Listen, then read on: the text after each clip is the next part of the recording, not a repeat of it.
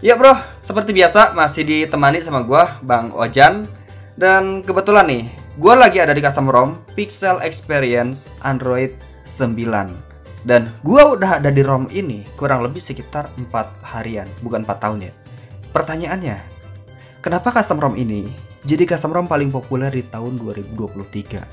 Why? Tapi, kenapa warga Konoha itu jarang banget ada yang pakai ROM ini?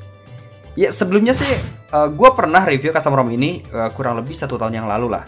Dan gue harus upload lagi konten ini dengan topik yang berbeda. Gue sering banget ganti-ganti custom ROM. Mulai dari basis OSP, CM, Omni, SAF, bahkan port. Dan gue akui ROM ini haram buat kalian skip. Gue berani taruhan penonton yang sekarang ini lagi nonton video ini Pasti ngarep-ngarep custom ROM yang kinerjanya tinggi dan nyaman buat ngegame kan Bener kan? Tapi kalian nggak salah konten bro. Kenapa custom ROM Pixel Experience menjadi custom ROM paling populer? Gue bakalan jawab di sini bro. Karena custom ROM Pixel Experience adalah custom ROM paling murni dari semua basis OSP. Maksudnya murni gimana bang? Ya kalian bandingin aja stok ROM dari Google. Nah biasanya stok ROM ini ada di Google Pixel. Terus ROM GSI dan Pixel Experience. Apa yang bikin beda? Nggak ada kan? Ya emang nggak ada, nggak ada yang beda. Jadi Pixel Experience itu adalah sebuah custom ROM official yang mirip dengan stok ROM Google. Tapi di sisi lain, kalian bakalan dapat kinerja dua kali lipat dari stok ROM Google.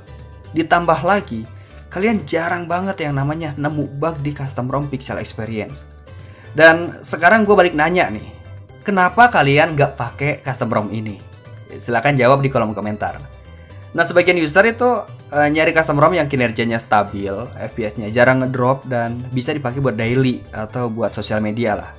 Nah, custom ROM Pixel Experience ini yang kalian cari, bro. Ya mungkin kalian gak akan nemu fitur-fitur aneh yang biasa ada di custom ROM lain. Ya misalkan FPS meter, thermal profile, CPU info, bahkan Xiaomi Pad. Tanpa fitur-fitur aneh yang gue sebut barusan, kalian udah bisa puas dengan kinerja yang dikasih, bro. Gue bakalan sebut kelebihannya ya, yang pertama nih, meski kalian menggunakan custom ROM, tapi jiwa stok ROM kalian itu masih ada di ROM ini bro. Tampilannya balance, fiturnya balance, dan ROM ini paling sedikit bugnya, bahkan terbilang kagak ada. Yang kedua, kalian bakalan rasain kinerja dua kali lipat tanpa kehilangan fitur-fitur yang ada di stok ROM.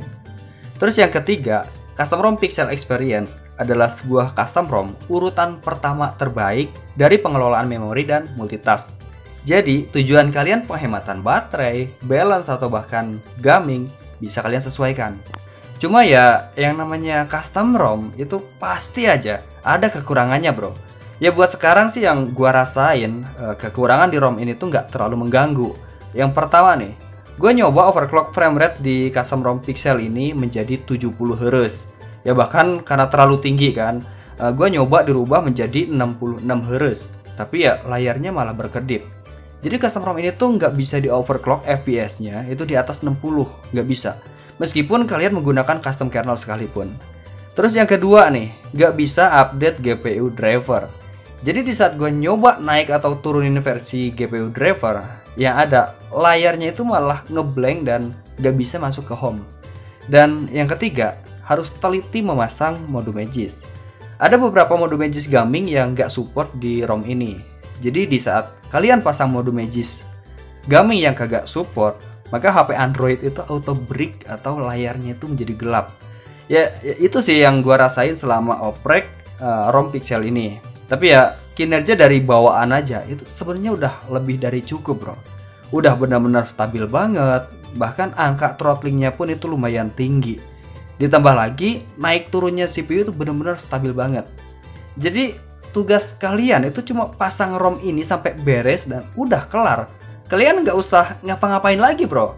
Atau mungkin kalian bisa variasiin pakai mode Magis Thermal Mode atau mungkin beberapa mode Magis optimasi yang lain. Jadi biar ROM ini tuh bisa makin stabil lagi.